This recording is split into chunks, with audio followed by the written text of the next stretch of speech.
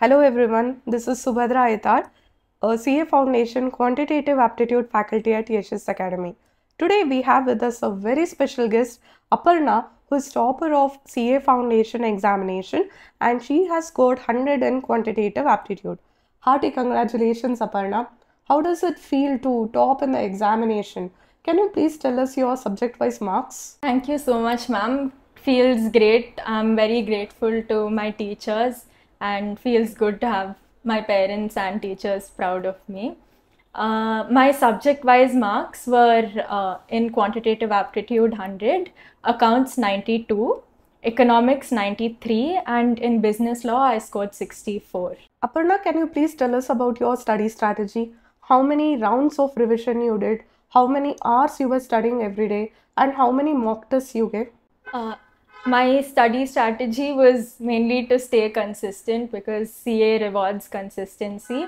And uh, I didn't study for a certain number of hours every day, but uh, my classes started in June.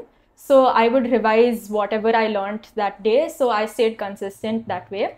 And before the exam, I think two months, uh, so November and December, uh, I would study for maybe 12 hours a day, but that was only because I had a certain goal. And when I'd finish that goal, I would be done.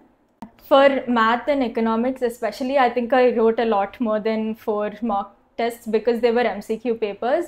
So I would go on writing tests whenever I had time. So maybe I wrote around 20 to 30 papers, especially for math. Aparna, can you tell us which materials you used to study from and was there any summary material that you prepared for any subject?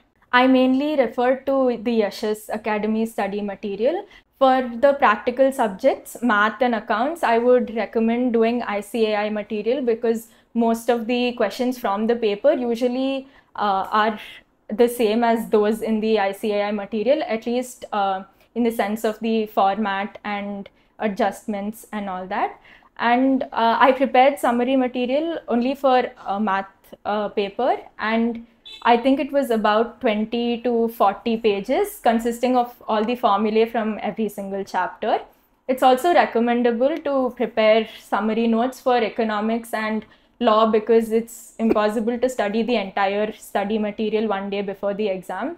So, um, chapter wise notes consisting of maybe the most important points uh, would be great. Aparna, can you please tell us uh, subject wise how many times you revised it? I think, other than revising along with classes, uh, in the last two months, I would have revised all four subjects, or maybe three, four times at least. And it's important to revise um, all the subjects even during classes so that you stay in touch and don't forget everything and taking tests from time to time that Yeshas Academy conducted also helped. Thank you so much Aparna for giving all the tips. Hearty congratulations on the mark. I really wish that you get rank in CA intermediate as well. All the best to you. Thank you so much ma'am. Thank you.